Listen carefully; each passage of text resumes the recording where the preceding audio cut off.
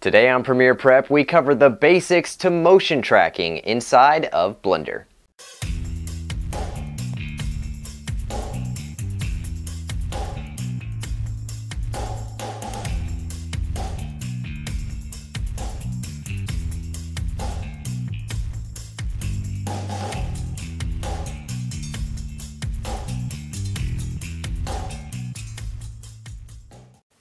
Hello Film Worlders, it's me, your host, Micah Pendleton, and welcome to Premier Prep.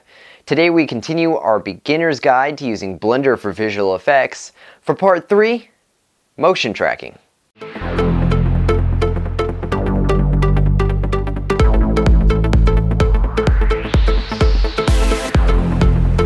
Before you can start, you need to understand what motion tracking is. It's where you take a rock, throw it, and then calculate how fast it traveled. Gotcha. No, it's exactly as the name would lead you to believe. It is the tracking of movement within an object or of an object that you define within your software. For our example, this is the footage I will use. I chose this example for a variety of reasons. One, it's a great way to get to know the motion tracker, and you get to know one of the most versatile tracking tools, plane tracking. It allows you to do screen replacements on TVs, cell phones, and computers, and you get to do things like add bullet holes to walls, do billboard replacements, and I could go on naming many more. For this tutorial, we will not be going into how to prep a shot for motion tracking or anything like that. We'll just be sticking within Blender.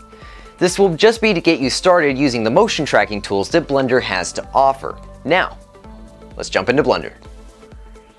To get to the motion tracker, go to the Editor Type menu and select the Movie Clip Editor. This is the motion tracker.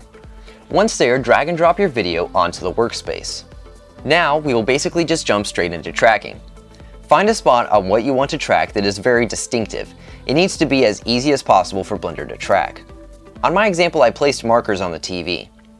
To add a tracker, hold down Control and left click on the spot you want to track. Now you have your marker.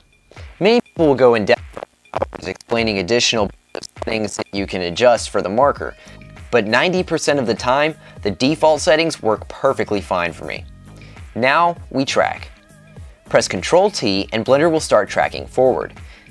If you tracked a good spot, it will go all the way through and be done.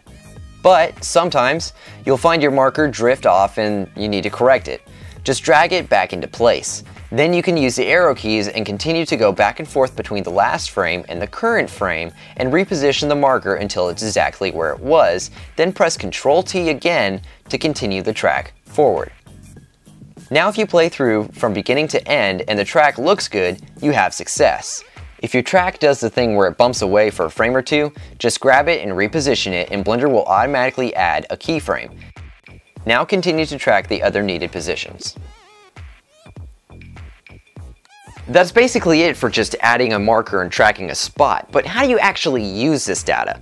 Well, let's start with plane tracking. This is perfect for when doing something like this TV example. To create a plane track, go to the Solve tab on the side menu and under Plane Track, select Create Plane Track.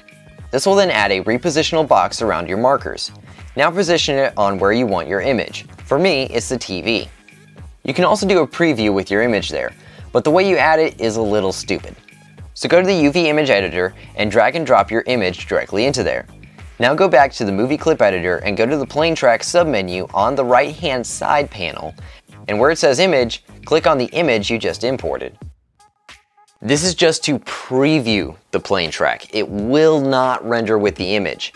To get the image into the render, we'll be going to the node compositor and setting up a scene like I showed how to do in part 1.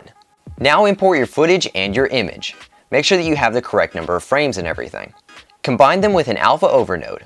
Now with Shift A, open up the node menu and under Distort, select Plane Track Deform node. Now define the video you tracked, the camera, and select your plane track. I also prefer to add motion blur to help sell the effect. Now it's all set up and ready for fine tuning, which is for a future episode. So you can render it out and get this.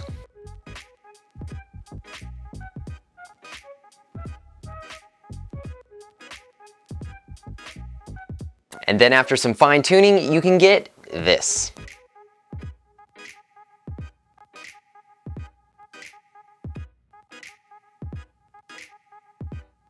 Another use for motion tracking is image stabilization, and I showed how to do that a few weeks ago, which you can watch here.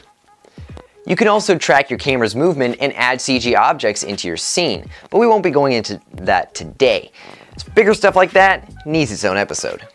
That wraps it up for part 3. I hope you feel a little bit more comfortable inside of Blender's motion tracker. For part 4, I'll be going over the basics to green screening and the color tools in Blender's Compositor.